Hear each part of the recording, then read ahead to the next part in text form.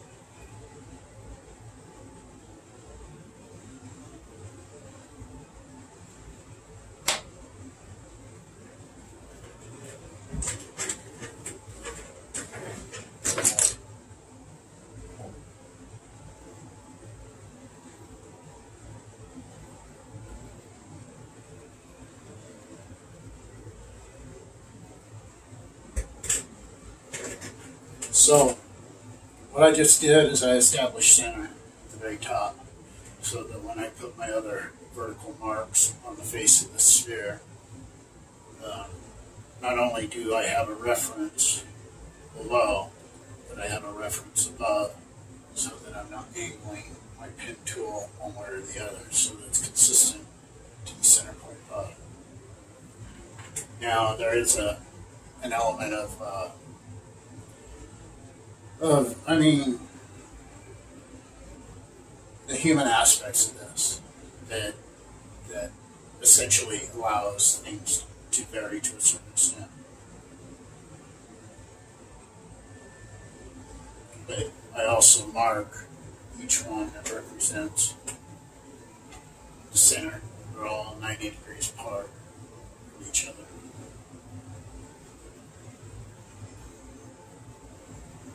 So when I'm running my pen tool, I'm looking at my pointer here, and I'm following. I'm following the edge of the of the square.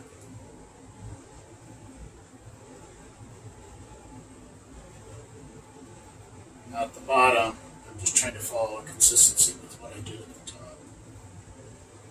One thing that uh, you may not be aware of is that all my work tables what I work off of are all built on angle iron and a grid of angle iron to keep the table super flat.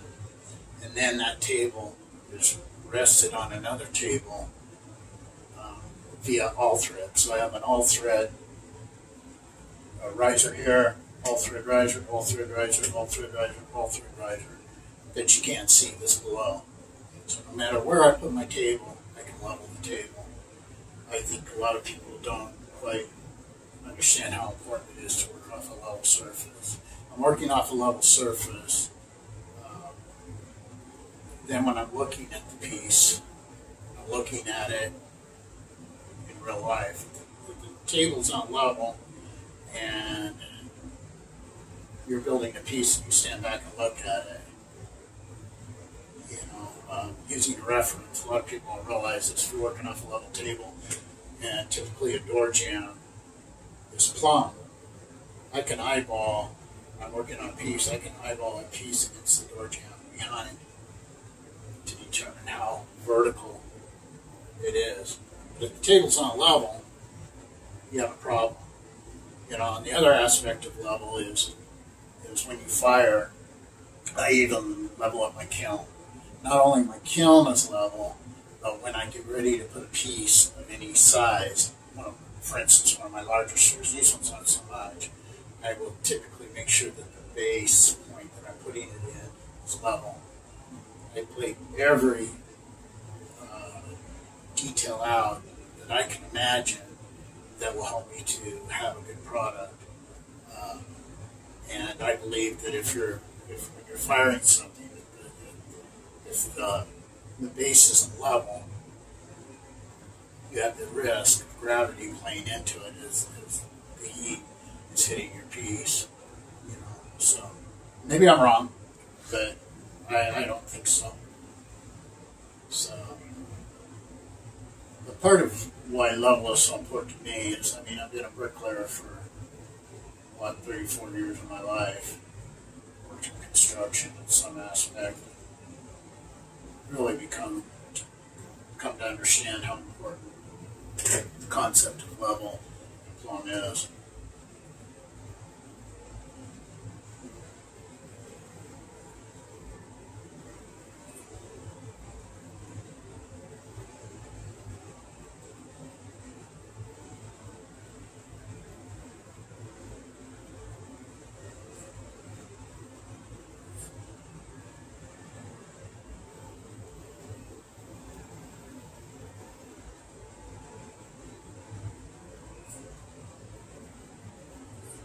Take that even further. There are people that, that are throwing pottery. Um, you know, possibly on a surface that has, I don't know, three eighths drop, three eighths drop per foot. So if the base of your of your throwing wheel is two feet, you're going to be out of level by three quarters of an inch. So when you're throwing, you're throwing it vertical off an unlevel base.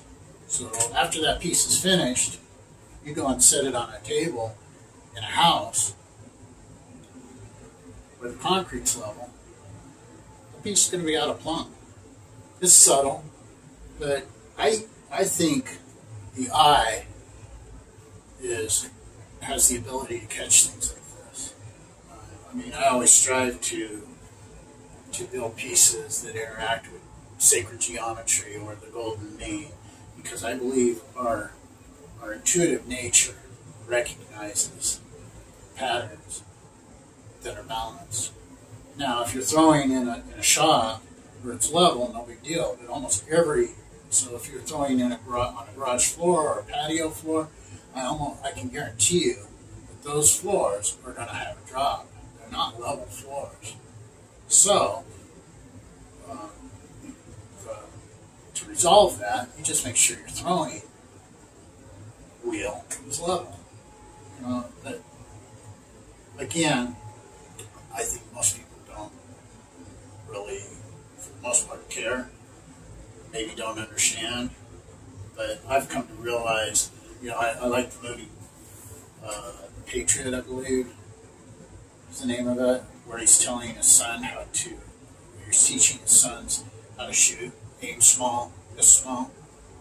Uh, when I've built structures, you know, I've been involved in structures that go 220 feet in the air. Uh, that's a whole lot of distance vertically to be off. So if you're starting off wrong at the base, as you go up, it's just going to be off more and more and more. So whenever I start a, whenever I build a structure, and I want it to be, and I want to control it, my base start point is typically as exact, as exact as you can get for the construction industry. And we, you know, we're talking sixteenth of an inch, eighth of an inch. Um, some guys don't even worry about that. But for instance, when I do an elevator shaft out of masonry, I'll have control marks etched in the concrete so that I can plumb up down every time I do a roof structure section. You know, uh, a lot of these high rises will have a roof structure section of 14 feet, 28 feet, 42 feet, uh, 56 feet, and such. And at every one of those points, I will run a plumb bob apparatus that I've built that's on a fishing reel that it's an extra heavy plumb bob and I'll run it down to my control point and I'll have a guy with a two-way radio telling me where our plumb bob point is off uh, control line or grid K. And I know that off grid K, my corner of my block work, my brickwork, needs to be at a certain point. So I can have my men adjust accordingly. So if it's out of plumb a half inch, I can have my men adjust over a period of four feet, eight feet to bring that back into plumb. I mean, it's just like a, if you listen to a pilot that flies uh, airlines, you know, they say that the majority of the time they're, they're off course. It's a constant adjusting to bring it back. Well, it's the same with masonry. Every course is an opportunity to be on or to be off. And so I, so, you know, but the only way you're going to know is by checking. You know, there are elevator guys will tell you that there's elevator shafts out there that are that are actually corkscrewing in the air because the guys that built them weren't checking. So it's all it's all interesting. But those concepts, concepts of plumb and square and all those those aspects play into to this too. I mean, building is building, whether it's small or whether it's large. You know, it, however, a lot of people have an attitude of, uh, ah, it's small, no big deal. I I teach a bricklayer apprenticeship program, and I always tell my men, there's no such thing as a small job.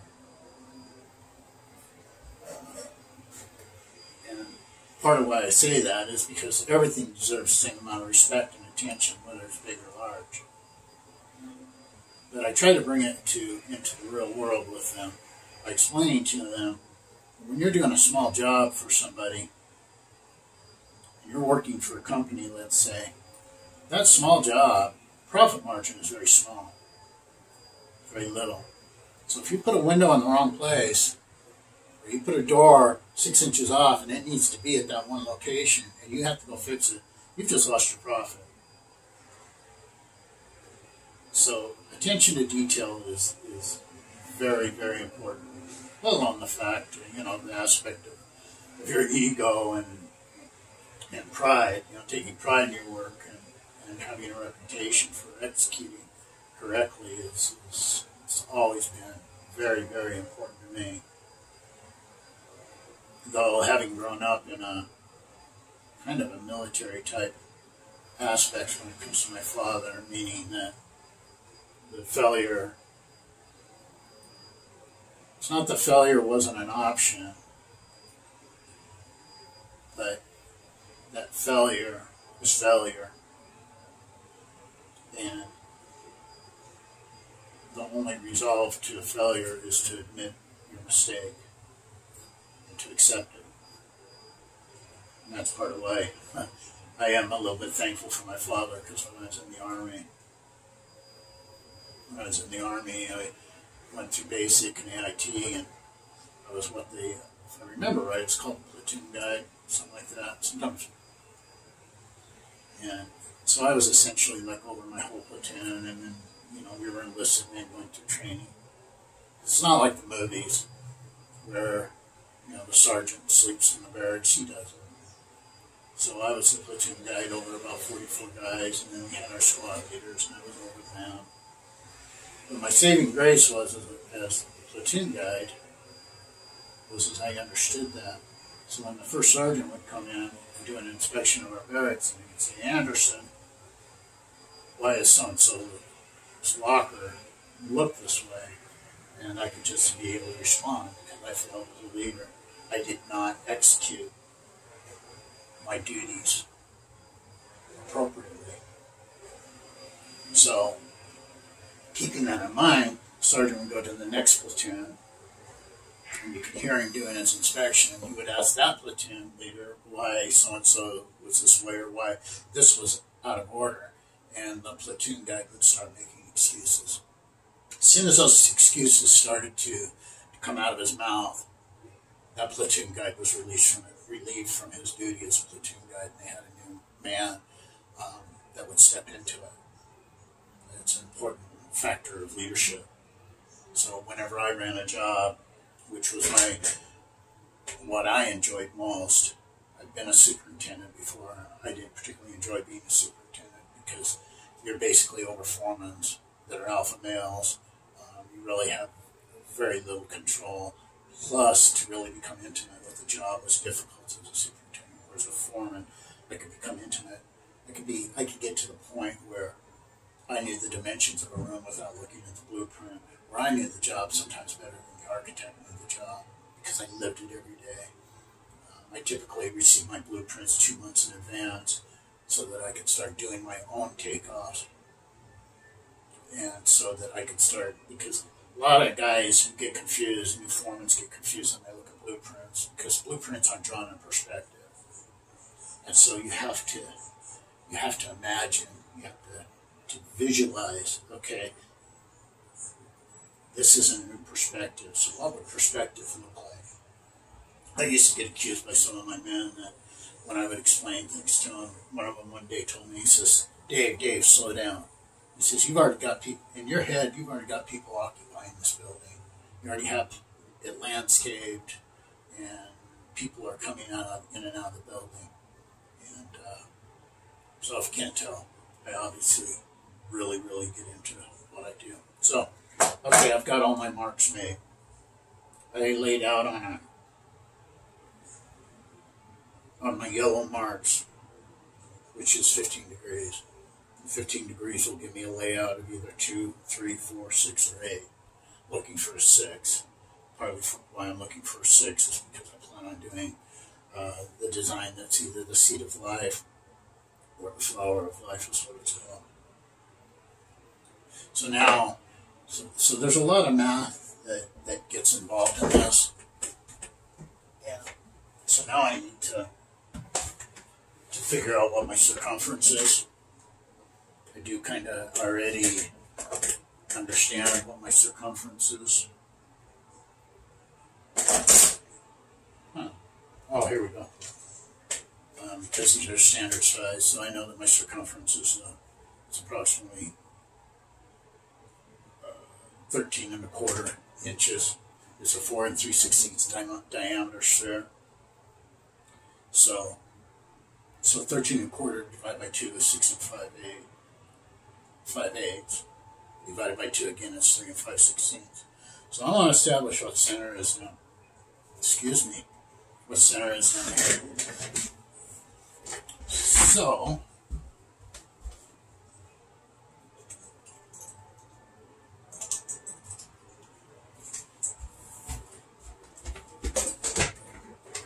access my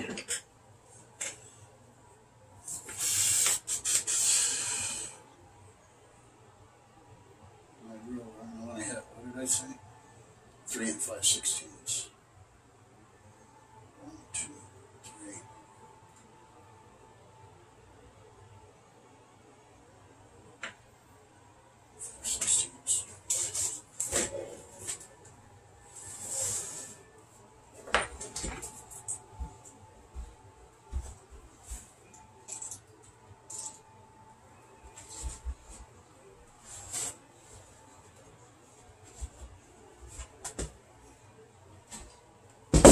Okay, now I'm going to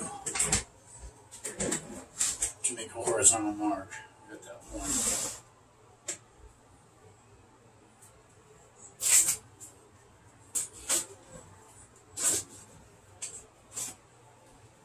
And following that point, I will mark it as the center of my sphere because I'll have multiple other, mar other marks.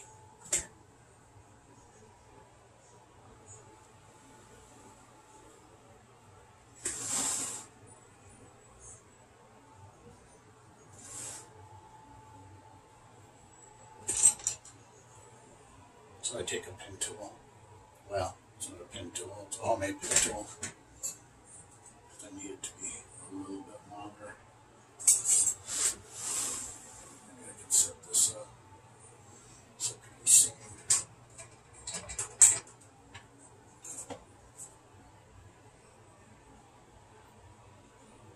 Cast one light in this. No, that wouldn't look good.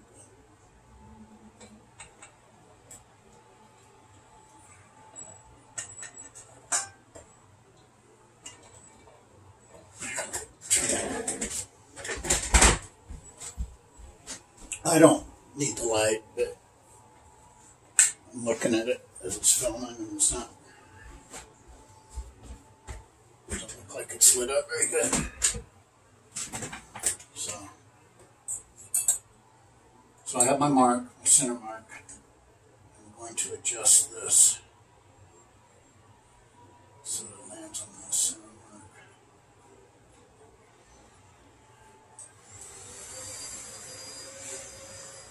Make sure the sphere is going to run into my square. Okay. Now that I have that, I will mark a horizontal mark around the sphere.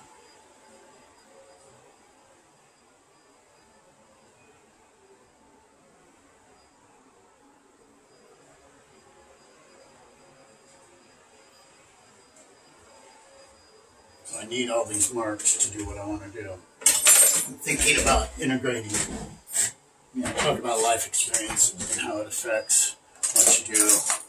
I'm thinking about doing the seed of life integrated with integrated with brick. So the brick will come up into the seed of life.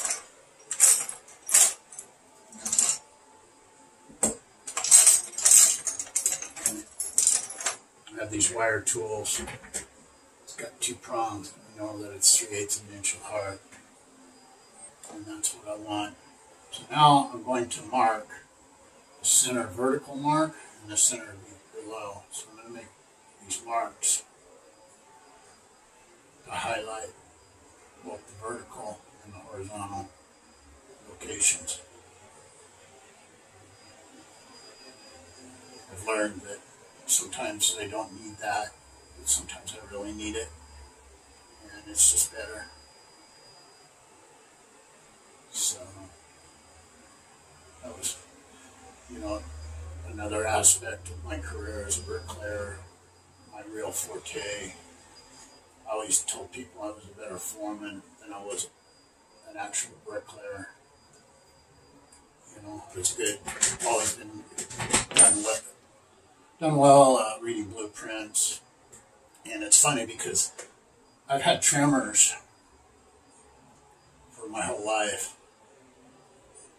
And it's kind of a, a known joke among men that work for me and that know me that uh, not to reference it if you're a new guy. You know, for instance, one guy was doing layout on a building, and I had a new guy on my crew. Says to me, What are you so nervous for?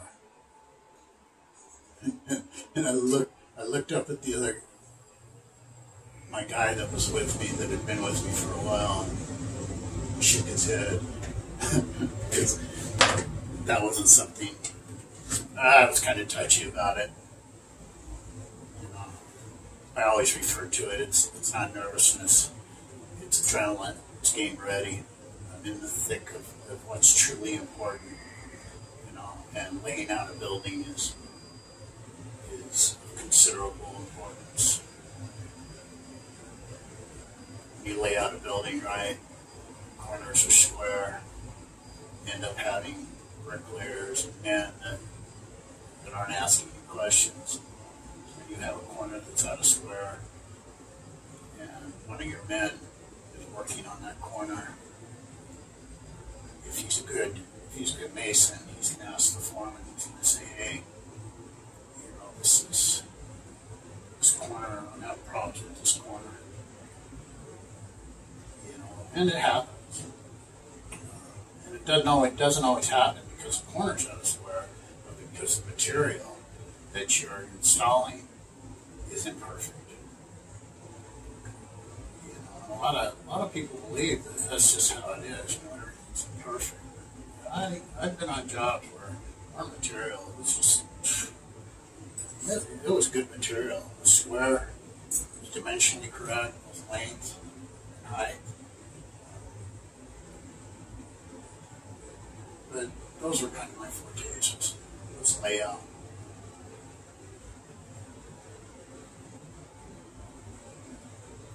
It's it's the foundation. You if you don't get the foundation aspects of things completed right, you know, it's going to be a problem. And that's not just a problem for, for the bricklayers. You know, when uh, the tile guys come in to put the tile, you know, they've got to negotiate a building that's out of square. Uh, that's why sometimes when you look at tile, you know, normally your cuts are, well, of course your cuts are against the wall, but it's really weird when, when at one end of the wall you got a, you have a six inch cut, and at the other end of the wall you have a inch cut. It's because that wall's out of square. You know, and then like when the roofer, not the roofers, but the iron workers and carpenters are going to put the truss in, trusses in, and it's out of square. You know, that can be a problem. It be a huge problem, depending on what type of trusses or things of that nature. So, I just, I just take nothing for granted. It's all important. You know, kind of like the story of the guy that, you know, I don't know, building a little shed or something. The guy says, "What are you building?" He says, "I'm building a cathedral." You know, that was his attitude. You know, everything he built is important. And uh, that's part of why it was important for me to be a foreman, because because there are a lot of men, a lot of foremen, a lot, not a uh, lot, well, many They really don't care. You know, and at the end of the day, the building gets does get built. There are men out there that don't care. And that's fine.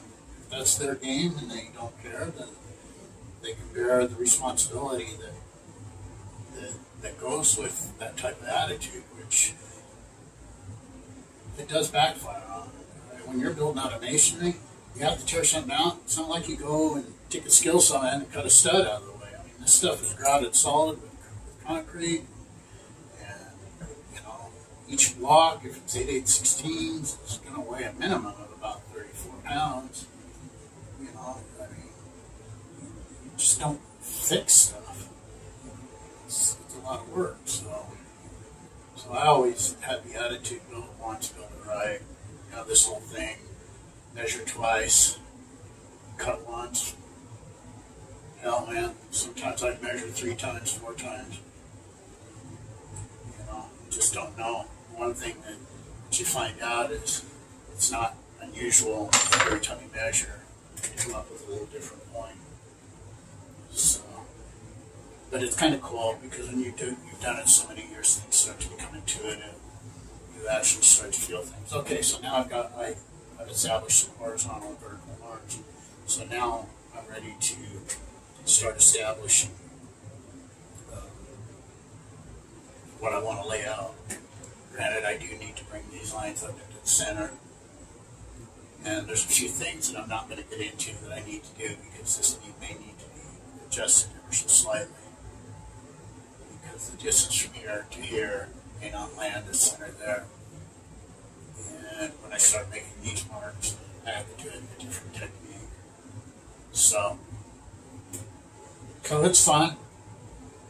Um, to me, this is very, very therapeutic. Um, it's not unusual for me to come into my shop, studio, and lose time. Like, wait a second. I mean, I've been in there for five hours. Where, where did the time go? Which they refer to as being in flow or in zone. Um,